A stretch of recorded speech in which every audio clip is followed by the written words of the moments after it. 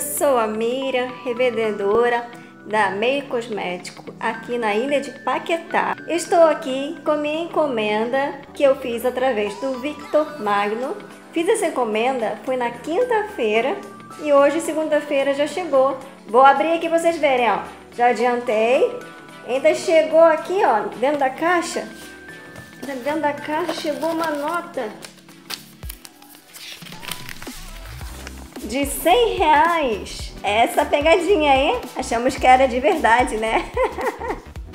Chega bem embaladinho no plástico bolha.